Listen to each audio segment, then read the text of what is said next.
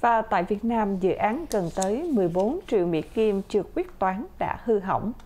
Dự án điện mặt trời gần 14 triệu Mỹ Kim lắp đặt tại các thôn bản vùng xa chưa có điện lưới, sử dụng được khoảng 2 năm thì hư hỏng. Nhìn cụm pin năng lượng mặt trời trước nhà còn kiên cố, nhưng không thể phát điện, ông Nguyễn Văn Tương, trú bản Đòn, xã Tân Trạch, huyện Bố Trạch đã buồn thiêu cho biết. Lâu lắm rồi, ông không thể xem tivi hưởng mát gió mát từ quạt máy. Nhà ông Tương nằm ở vùng lõi vườn quốc gia của Phong Nha Kẻ Bàng nên không có điện lưới.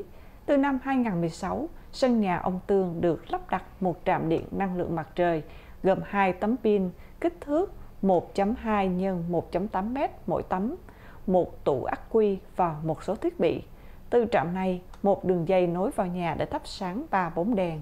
Có trạm điện, gia đình ông Tương sắm thêm một số đồ dùng như quạt tivi, điện chỉ đủ thắp sáng ba bóng đèn xem tivi, sạc loa vân vân. Nhưng trời nắng thì có, mưa thì mất khoảng 6 tháng và hơn năm nay mất luôn. Ông Tương đã cho hay dự án đang được làm thủ tục quyết toán nên các phương án thay thế, sửa chữa không được thông qua. Quyết toán xong, trung tâm mới khảo sát lên phương án thay thế sửa chữa, rồi chờ tỉnh Quảng Bình phê duyệt mới có thể phân bố thiết bị dự phòng về địa phương. Trong thời gian chờ quyết toán và chờ xây dựng phương án mới, các trạm điện hư hỏng bỏ hoàn phế.